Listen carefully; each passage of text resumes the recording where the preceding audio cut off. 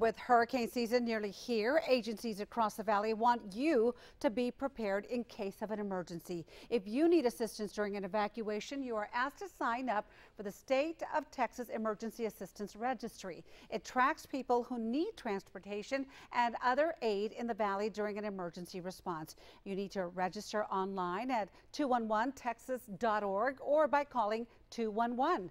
TxDOT spokesperson Octavio Saenz says having a headcount better prepares first responders. You need to know how many people you need, you're more or less going to serve in order to adjust. It's like if you're going to have a party, you want to know you're going to have more or less how many guests. Because if you have food for 100 and 1,000 show up, that's it's chaos. By the same token, if we know more or less how many people are registered in the 211 service, we know what resources we need. Texas 211 will be in Brownsville tomorrow to help people register for the program.